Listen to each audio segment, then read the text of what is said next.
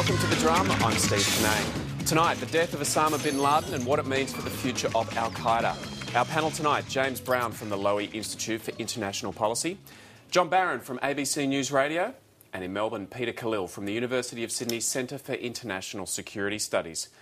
Well, it's taken nearly 10 years, but the United States has finally tracked down and killed the most wanted man in the world, Osama bin Laden. The Al Qaeda chief, along with his son and two others, were killed in a firefight with American forces at Abbottabad in Pakistan. US President Barack Obama announced the news to a surprise White House media conference. I determined that we had enough intelligence to take action and authorized an operation to get Osama bin Laden and bring him to justice. Today, at my direction, the United States launched a targeted operation against that compound in Abbottabad, Pakistan. A small team of Americans carried out the operation with extraordinary courage and capability. No Americans were harmed. They took care to avoid civilian casualties. After a firefight, they killed Osama bin Laden and took custody of his body. For over two decades, bin Laden has been al Qaeda's leader and symbol and has continued to plot attacks against our country and our friends and allies. The death of bin Laden marks the most significant achievement to date in our nation's effort to defeat al Qaeda. Yet his death does not mark the end of our effort. There is no doubt that al Qaeda will continue to pursue attacks against us. We must and we will remain vigilant at home and abroad. Peter Khalil, what impact will the death of Osama bin Laden have on the future of Al Qaeda? Pursue attacks against us. I think um, uh, the real issue for Al Qaeda is uh, this is another huge blow for them, following up on the uh, the democracy movement that we've seen sweeping across the Middle East and North Africa. Because Al Qaeda, for so long, uh, their ideology had been one of violent jihad to remove these autocratic, despotic leaders, and uh, that's happened relatively peacefully in, in, in, the Middle East North Africa, with the exception of Libya, of course. And now they've lost their figurehead, uh, their, their spiritual leader, in a sense, in Osama bin Laden. So that's a physical blow as well as an ideological blow.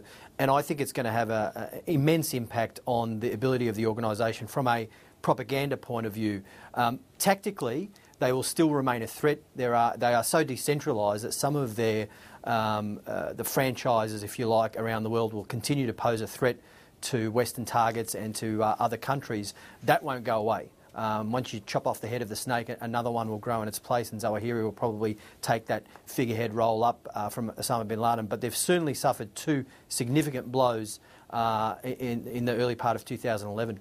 James, is that the way you see it? I agree, and I think it's telling that Peter's used the word franchise. Al Qaeda is a business now. It is a business model. It has a propaganda wing. Um, Osama's been the chairman who, whilst he props up with a few statements every now and then, really hasn't been involved in the day to day running of the organisation for a couple of years. So the chairman's gone, the board of directors are still there, the CEO is still there in, in Zawahiri.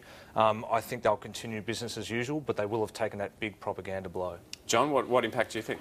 Well, to take up the franchise metaphor, uh, KFC didn't go out of business when Colonel Sanders died. He's still on all their pictures. Um, nobody's quite turning uh, Osama bin Laden into Che Guevara on every uh, young student's T-shirts, but in parts of the world, he is that powerful. He'll remain a powerful figure. I'd like to believe that this diminishes that, but in a way, perhaps it'll have the reverse effect because he's not this ageing man with kidney disease uh, hiding away from the world. He's now a martyr. And John, how psychologically important is it to America, do you think?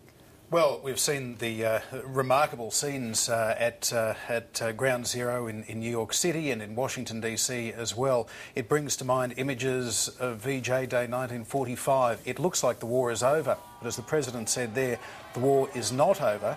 The question is, once the euphoria dies down, will the Americans decide, you know what, it is. Why are we fighting? We've killed Osama bin Laden. We're seeing vision there, John, of um, some of the people outside uh, Washington, and that's quite late at night. Remember, because it was about 10:30, yep. maybe 11:30 at night by the time President Obama spoke. So those pictures we're seeing there are probably midnight, one o'clock in the morning. A whole lot of people have uh, decided to go down and, and to celebrate. Yeah, this is continuing on as we speak. And what is remarkable about this as well is we're seeing firefighters, we're seeing first responders, we're seeing victims and uh, victims' families from, from 9 11 coming out onto the streets.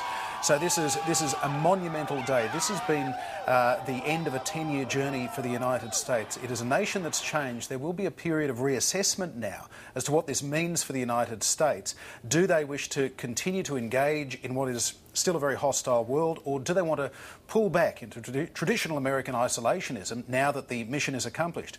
Eight years today since George W. Bush was on the, the deck of the carrier saying mission accomplished. Today we can perhaps add a mission really accomplished in the minds of many.